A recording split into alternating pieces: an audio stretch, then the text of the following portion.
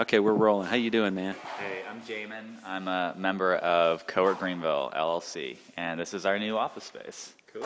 So you're gonna you're gonna give us a heads up as to what's being built on CoWork, right? Yeah, I'm just going to give you a quick tour. You want to just take a quick overview of the, the whole space?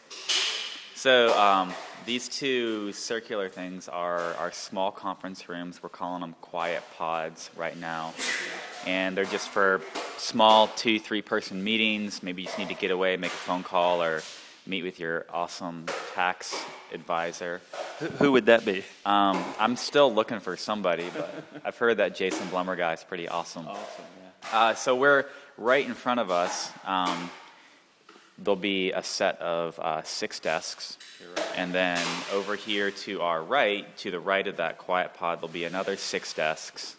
And then. Um, Is that is that the day rate people or who's no, that? these are for full time people. They're signing a one year lease. And uh, there are full time co work members, so we've got 18 of those. Um, and then just uh, to the other side of this one pod, you've got another set of six desks. So we have three sets of six desks. Um, and if you want to walk, we can walk down. Um, Actually, I will let you hold that. Uh, where Matthew is walking off there in the corner is we're going to have uh, eight day rate desks, and those are for individuals who don't need a full time space, but maybe just want to be apart one or two days a week. And so we'll have eight desks right there, there. Across this wall. um, right up in that corner where Matthew is. Yeah, just running, running along that wall.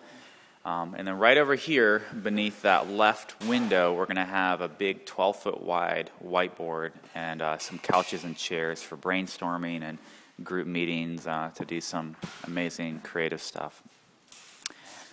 And so, tell me, where is this place? What's the name Uh, of the, the building? The building is Crescent Studios. It's owned by Trey Cole. Um, he's an architect and engineer here in, in downtown Greenville. And um, so we'll, we'll be moving in, hopefully, on November the 1st. Good man. Thanks, Jamie. You're welcome.